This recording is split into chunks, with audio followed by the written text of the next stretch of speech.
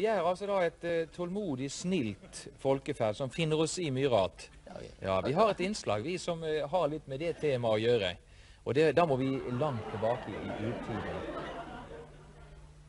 Eva går frametter, og Eva går baketter.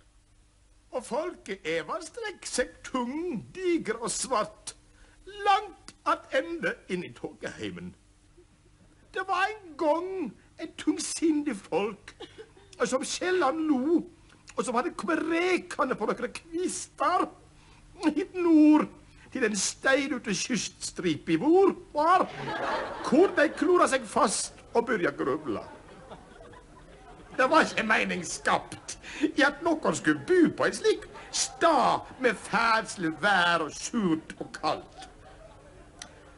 Hovdingen for dette folket ville gjøre noe med alle de vonløsa, og han ville begynne hos seg sjøl. Han hadde eit troll av ei datter. Henne ville han bli kvitt og gifte bort til den første friaren som fikk henne til å le. Dette været er ikke til å holde ut. Nå må det skje noe uh, festlig. Uh, er det kommet noen uh, friere til vår som kanskje kunne få deg til å le? Problemstillingen er overhodet ikke adekvat. Jeg må be om å påpeke alvoret i saken. Frieren er ikke morsom, har aldri vært morsom, og kommer heller aldri overhodet til å bli lattervekkende.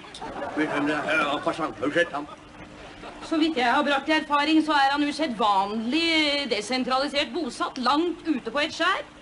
Sterkt i opposisjon og meget isolert. Nå står han ute i byslaget og uttrykker hemningsløs uh, munterhet, noe jeg på den ene side vil betrakte som sivil ulydighet, og på den annen side så prøver han å legge forholdene til rette for å få meg til å le ved selv å le. Noe jeg vil betrakte som en usedvanlig ressursfattig og uh, naiv holdning. Ola Dunk heter han. Send ham inn. Uh, ja. Si meg hvilken uh, dunk stammer de fra? Uh, Møredunken eller Ladedunken? Nei, altså, jeg er faktisk bare kommet her for å få kongsdatteren til å le. Sett i gang Agnes. Takk. Vel, da skal jeg starte med en liten historie, kanskje. En vits. Uh, hos frisøren, heter den. Uh, frisøren uh, og en kunde i stolen der. Så sier frisøren Si meg en gang, sier han, vil De ha håret tilbake? Så sier kunden Nei takk, bare behold det, De. Gjenta spørsmålet. Ja, nå var ikke det noe spørsmål. akkurat. Det var, Vitsen her var at kunden At frisøren hadde misforstått. At kunden hadde At det var tilbakeoverstrøket. Å, oh, jeg forstår. Altså, han har altså ikke sitt eget hår, men uh, dette. Spørsmålet er tupé og nå tupé. Var det noe mer? Nei, for så vidt var det Ja, da vil jeg foreslå å skjære to remmer av ryggen hans. Ja, ja, akkurat to remmer av ryggen, ja. Ja, ja, og så supplerer man med visse mengder salt. Grovkornet havsalt. Ja, Vi kan jo ikke drive og le hele tiden. Det er straffbart. Uh, salt i remmene.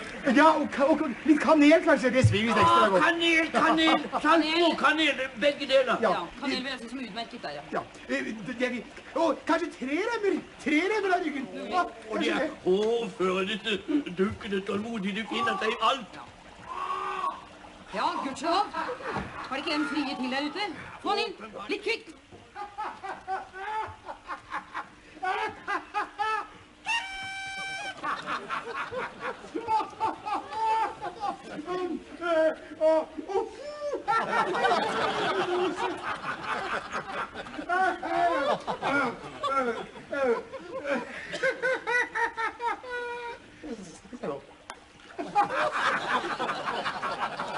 kvikt. Eh, å, er de.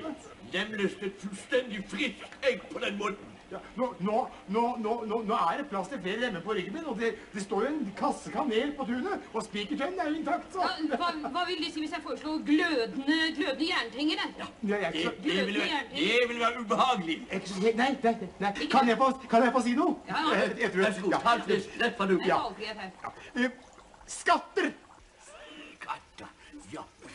Ja, Garantiinstitutt! Ja. ja. Konsesjonslov! Konveksjonslov! Bygningsråd. Naboråd! Ekspropriasjon! Jeg Det er fantastisk! Det aller er skatten. Og slik fikk Ola Dunk trollet til å le, slik at han måtte gifte seg med det. Og trollet spekulerte ut det ene påhittet etter det andre, og Ola Dunk var tålmodig og fant seg i alt. Og ettersom åra gikk, fikk trollet gradvis vent han av ved å le. Og de er jo ikke daue, for de lever jo ennå.